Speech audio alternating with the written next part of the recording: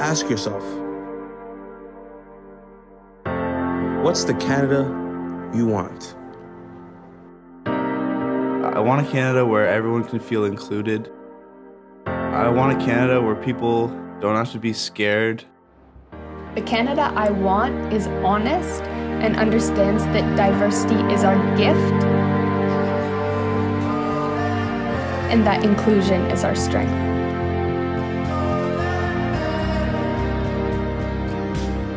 The Canada I want is a Canada where young people feel they have the natural ability to give to the world that they see, they want to see for themselves in the future.